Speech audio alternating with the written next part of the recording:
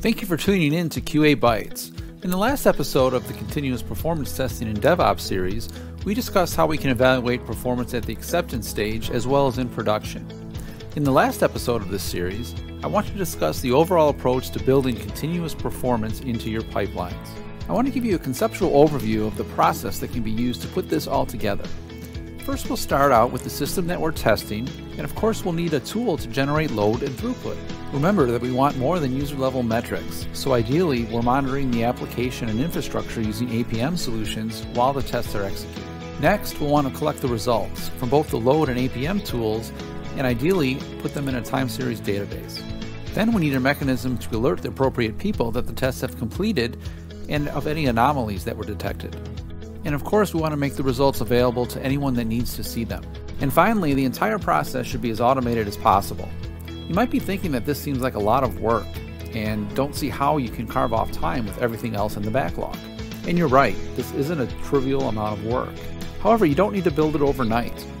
A good place to start is with executing a few simple component tests automatically as part of your build deployment. Then getting an APM solution running in the environment if there isn't one already. And then finally results collection and broadcasting the results to those that need to see them. And speaking of the backlog, this work should be part of your technical backlog so it becomes part of your efforts toward continuous improvement. If this is off the books work, it's likely never going to be done. You need to manage it the same way you do your development work. Before we wrap up, it's important to step back and think about some of the realities associated with this implementation. First, I recommend you start small. A good place to start is running some component level tests against a few of your more critical components.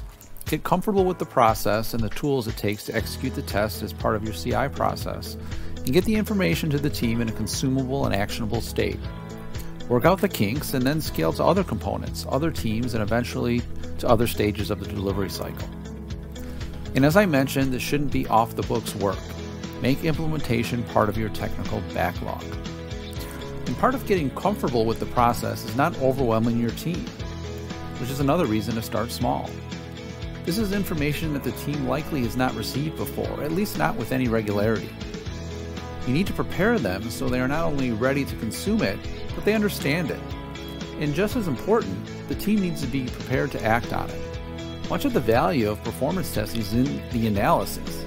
You can't assume that your team possesses the ability to understand the data you're giving them and take action on it. This is going to be a learning process. Also, successful performance testing activities aren't just implementing tools. You need to make sure you've taken care of the supporting factors. Remember, we don't have unlimited time to execute tests, so you need to think very critically about which tests are important. And if these tests are going to be executed as part of your delivery cycle, they need to be run on demand. So you need to understand what that means from a test environment and data perspective. Finally, this won't be a fire and forget solution. As you implement continuous performance testing, you should get feedback from the team and improve the solution so it's adding the appropriate value to your delivery cycle.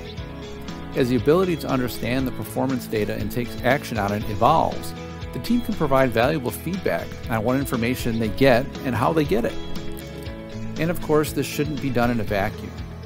Everything that you're doing should be out in plain sight to ensure that you can make the work part of the technical backlog and continuous improvement efforts. Thank you for watching this episode of QA Bytes. Stay tuned for future QA Bytes series where we'll continue to discuss relevant software quality and testing topics.